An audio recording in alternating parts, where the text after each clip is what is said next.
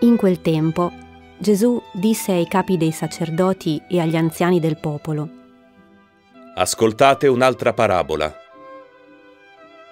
C'era un uomo che possedeva un terreno e vi piantò una vigna. La circondò con una siepe, vi scavò una buca per il torchio e costruì una torre. La diede in affitto a dei contadini e se ne andò lontano. Quando arrivò il tempo di raccogliere i frutti, mandò i suoi servi dai contadini a ritirare il raccolto.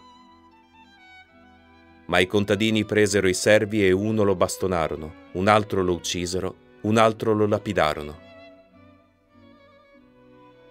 Mandò di nuovo altri servi, più numerosi dei primi, ma li trattarono allo stesso modo. Da ultimo mandò loro il proprio figlio dicendo, avranno rispetto per mio figlio. Ma i contadini, visto il figlio, dissero tra loro, Costui è l'erede. Su, uccidiamolo e avremo noi la sua eredità. Lo presero, lo cacciarono fuori dalla vigna e lo uccisero. Quando verrà dunque il padrone della vigna, che cosa farà a quei contadini? Gli risposero, Quei malvagi li farà morire miseramente e darà in affitto la vigna ad altri contadini, che gli consegneranno i frutti a suo tempo. e Gesù disse loro, Non avete mai letto nelle scritture la pietra che i costruttori hanno scartato è diventata la pietra d'angolo. Questo è stato fatto dal Signore ed è una meraviglia ai nostri occhi. Perciò io vi dico, a voi sarà tolto il regno di Dio e sarà dato a un popolo che ne produca i frutti. Udite queste parabole, i capi dei sacerdoti e i farisei capirono che parlava di loro. Cercavano di catturarlo, ma ebbero paura della folla perché lo considerava un profeta.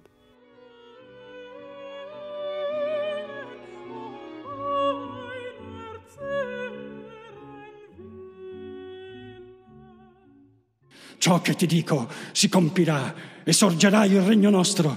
Ti ripeto che domani tu stesso, tu vedrai questo dogile gregge gettarsi al primo mio cenno ad attizzare i carboni ardenti del rogo sul quale ti brucerò per essere venuto a disturbarci. Perché se qualcuno più di tutti ha meritato il nostro rogo, sei tu. È il capolavoro di Dostoevsky, La leggenda del grande inquisitore, un mini racconto contenuto nel romanzo I fratelli Karamazov. Un racconto immaginario di tipo allegorico, ambientato in Spagna ai tempi della Santa Inquisizione, che narra il ritorno di Cristo sulla terra dopo 15 secoli dalla morte.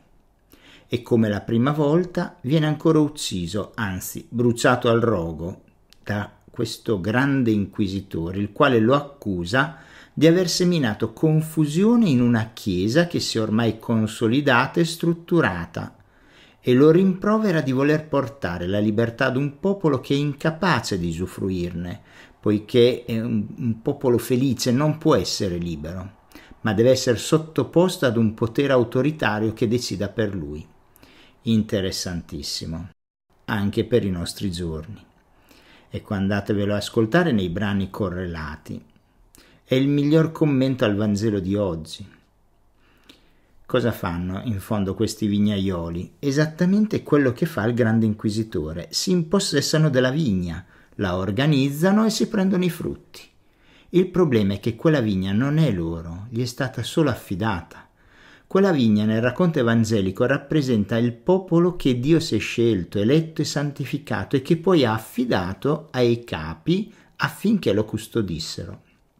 Ma questi, una volta ricevuto il dono da amministrare, lo hanno fatto proprio, rivoltandosi contro il datore di lavoro e uccidendo tutti coloro che in qualche modo gli ricordavano questa appartenenza. Così Dio, il creatore, è stato ucciso dalle sue creature. Che cosa imbarazzante. Eppure è una storia che continua anche oggi.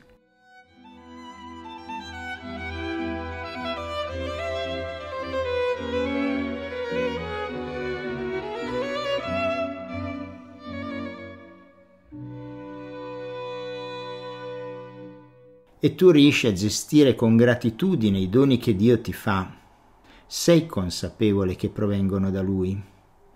Ci sono cose e persone su cui vuoi prendere potere e controllo? Sei capace di benedire Dio anche quando questi doni ti vengono tolti?